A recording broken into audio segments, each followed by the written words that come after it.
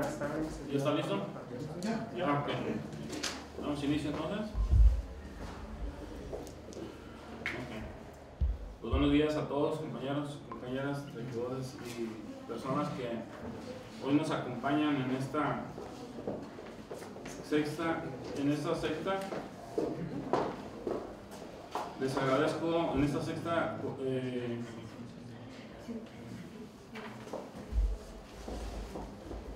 de la Comisión Municipal de Servicios Públicos Municipal. Este, estamos, estamos aquí hoy, eh, nos acompaña el director general de Servicios Públicos Municipales, el licenciado Carlos Maestro, para, para dar inicio en esta. La Comisión de Iglesia, perdón. Tranquilo, sí, con calma.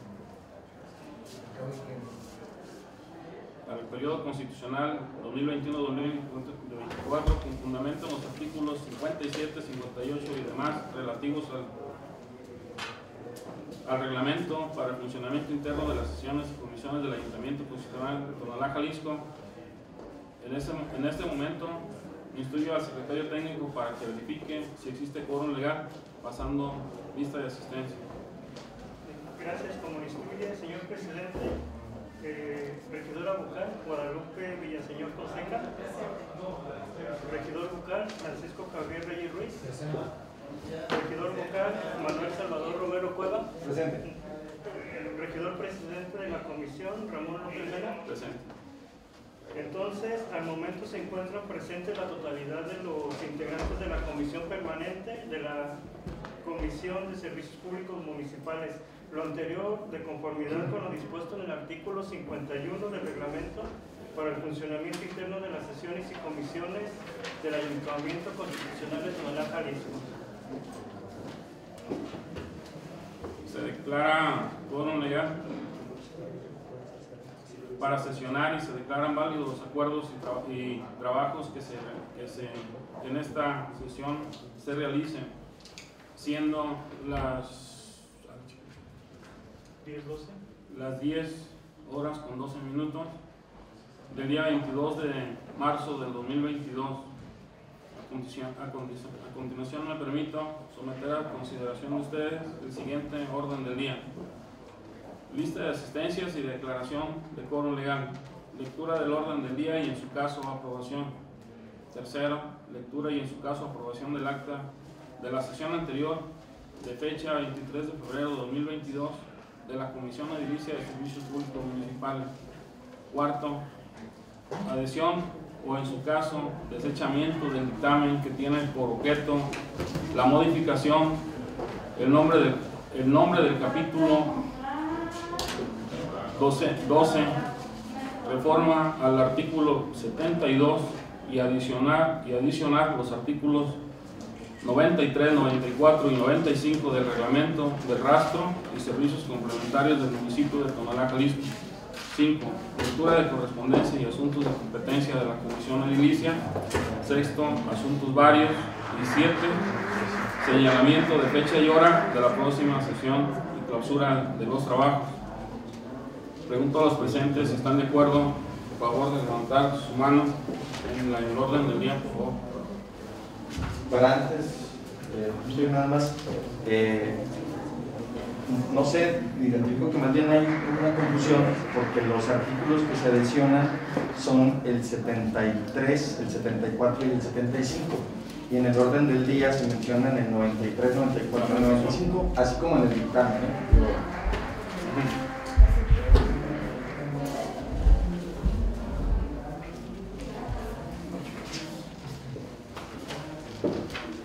Tienen ahí en su exposición? 71, 72. Eh, eh, son los que se adicionan y tanto en el orden del día como en el dictamen se mencionan que se adicionan el 93, 94, 95. Quiero deducir que es un error de, de número, ¿no? O sea, Sí, más bien es un error ahí. digo, nada más nada más, sí, que porque queda sentado en el orden del día que la modificación sería, la adhesión sería 72. la modificación del artículo 72 y la adhesión del 73, 74. 73, 74, 75, sí es. Ujú. Sí. Nada más Teresa, es una aclaración. Sí, Sí, es más cuestión de. Sí, para que, para que Sí, en lugar de 9, en en el lugar de dictamen- 93 es 93. En el dictamen de la sesión sí quede asentado correctamente. Sí, es, sí.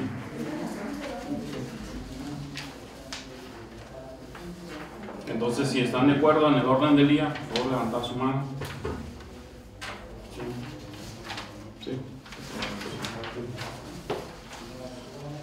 Pasando al tercer punto, que tiene que ver con la lectura y en su caso aprobación de la, del acta de la sesión anterior y de fecha 23 de febrero del 2022 de la Comisión Edilicia de Servicios Públicos Municipales, solicito a los presentes omitir la lectura de dicha acta antes referida por ser de conocimiento de los presentes y ya haber sido circulada para su firma.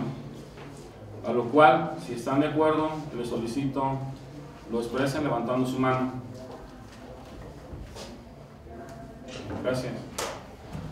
Ahora bien, aprobado la dispensa de la lectura del acta referida, pregunto a los presentes si es de aprobarse su contenido en lo general y en lo particular. Por tal motivo les pido nuevamente manifestando, levantando su mano en lo particular.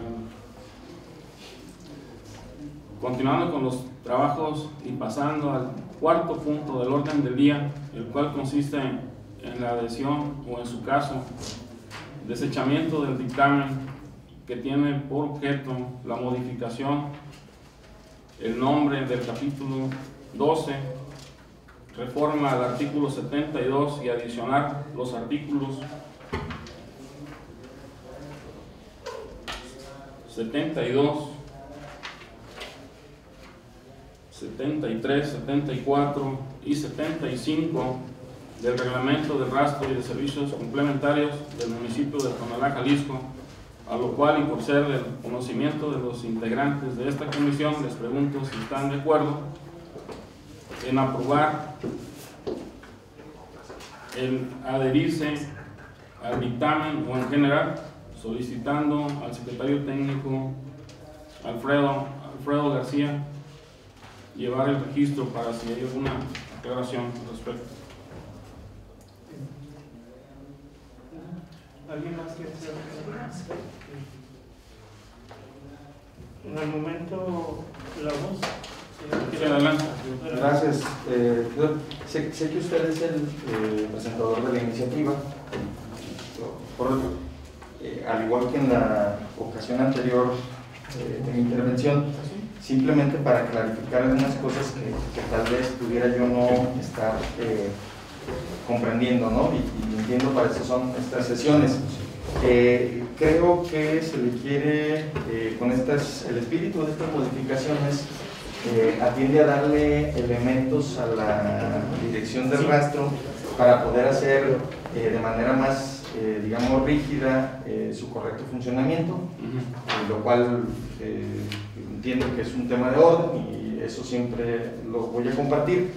Eh, mi opinión va más en el sentido de los procesos.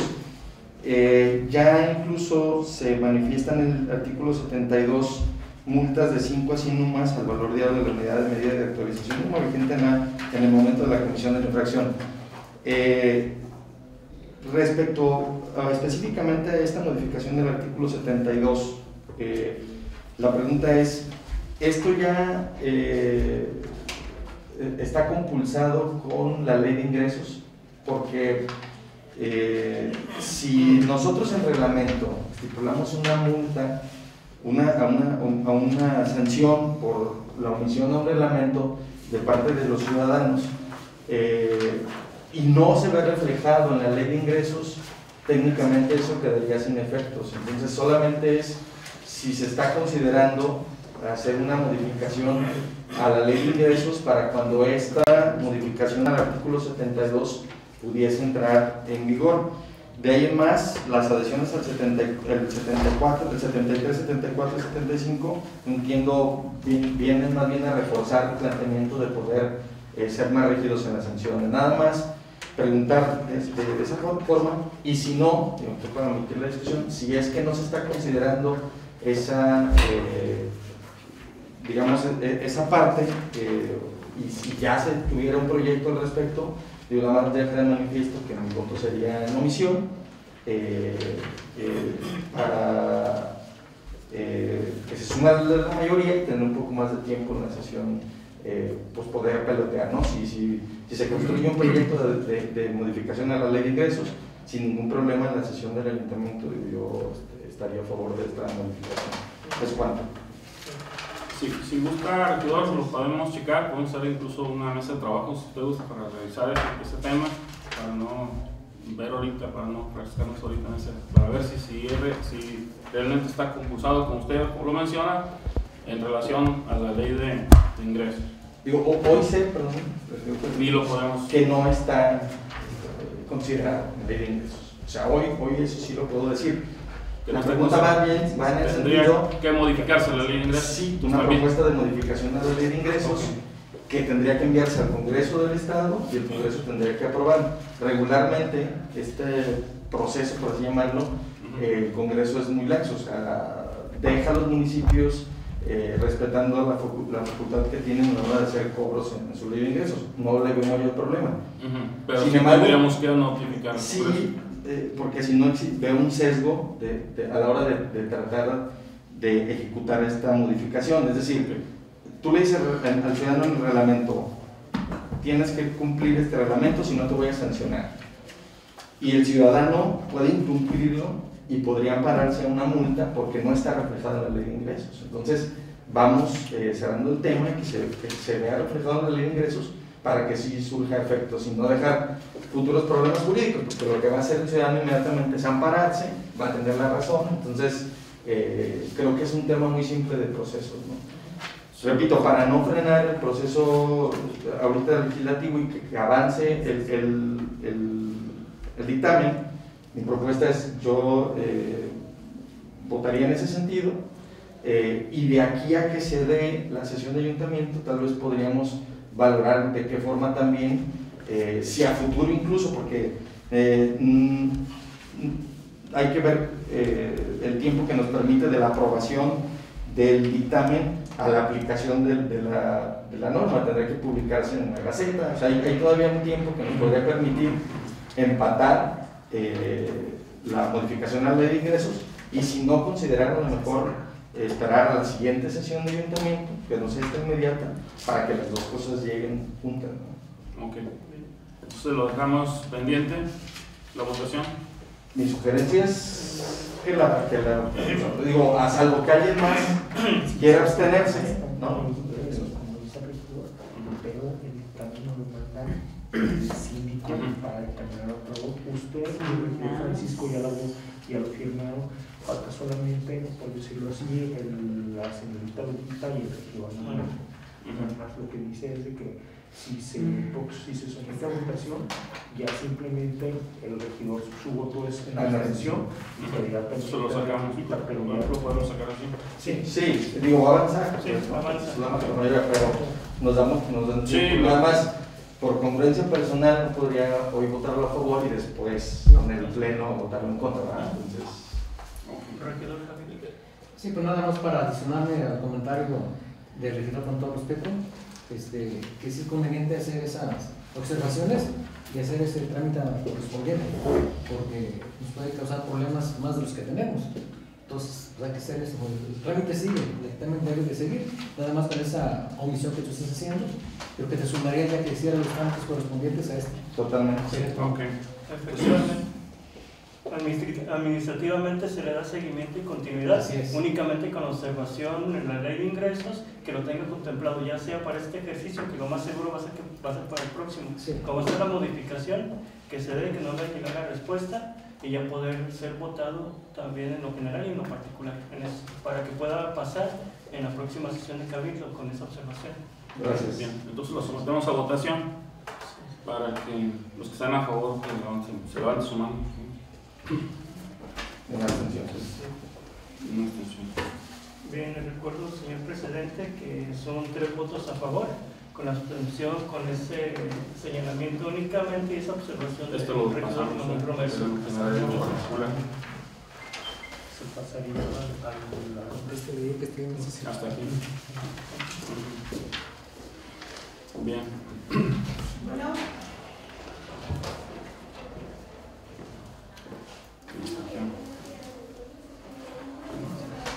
Continuando con los trabajos y pasando al quinto punto del orden del día, el cual consiste en la lectura, correspondencia y asuntos de competencia de la comisión edilicia.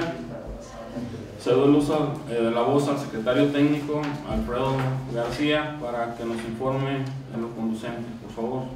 Bien, como lo indica el señor presidente de la comisión, eh, hago del conocimiento de los presentes los oficios COM diagonal RPCAPL diagonal 063 diagonal 2022 y COM diagonal RPCAPL diagonal 064 diagonal 2022 remitidos por el síndico municipal en los cuales solicita remitir la propuesta de redacción de los puntos de acuerdo que son el 107 y el 108 que versan sobre la modificación de los reglamentos de gobierno y la administración pública, así como el reglamento para la prestación del servicio de aseo público en el municipio de Tonalá, Jalisco.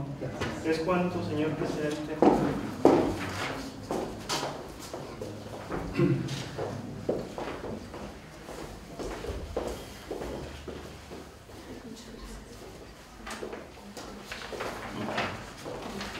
Entonces nos vamos al último punto. ¿ya? Ujú. Aquí está. Ok, bajo, la- bajo tales circunstancias, lo que, pro- lo que estaba comentando aquí el secretario técnico, se propone a los presentes se celebra una mesa de trabajo para la cual será convocada por medio de, de- del respectivo oficio de citación, a lo cual pregunto a los presentes si están de acuerdo con la, con la propuesta de la mesa de trabajo para analizar ese tema de los dos reglamentos, del aseo y del de servicio público municipal.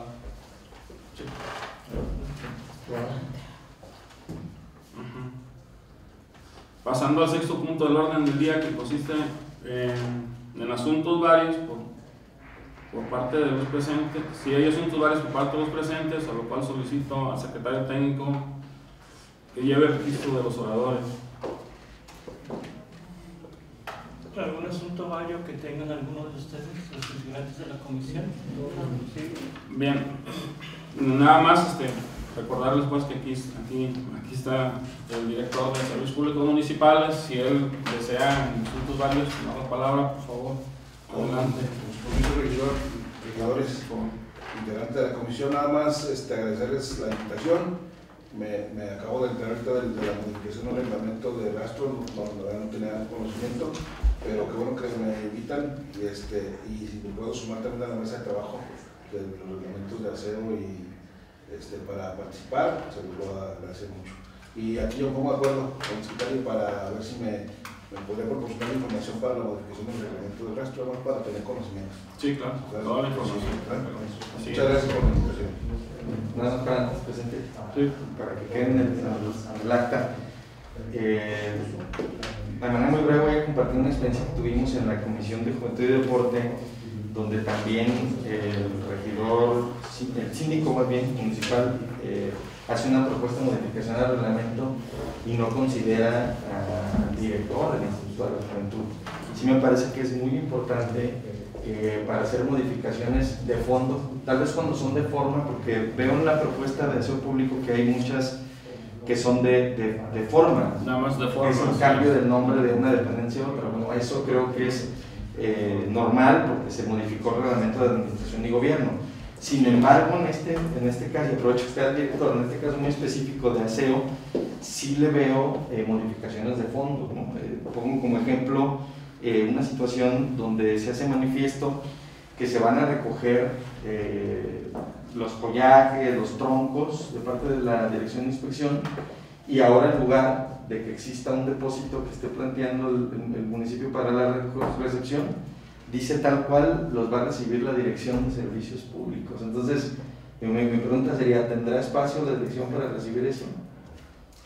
Digo, a, a lo mejor ahorita tendríamos que ver... Es que idea lo que está plasmado ahí. Pero es muy importante que quienes estén operando las áreas pues conozcan estas modificaciones, porque tal vez podrían clarificarnos más a nosotros, que efectivamente no estamos todos los días en una dependencia, que, aparte son tan demandantes como el tema de servicios públicos, que es eh, muy, muy, solicitada por la ciudadanía.